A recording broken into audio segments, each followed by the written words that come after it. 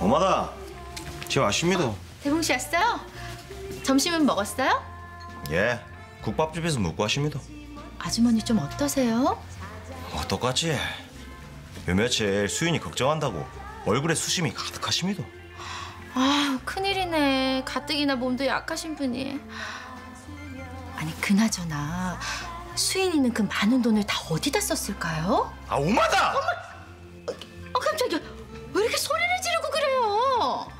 지금 그게 무슨 소리입니까? 애초에 수인이가 횡령을 안 했는데 돈을 쓰니 어디다가 씁니까?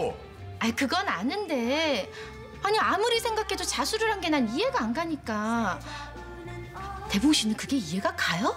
이해가 안 가면 그냥 가만히 있어 있어. 괜히 이상한 소리 하지 말고 으이, 내가 뭘 어쨌다고 그래요? 참, 아.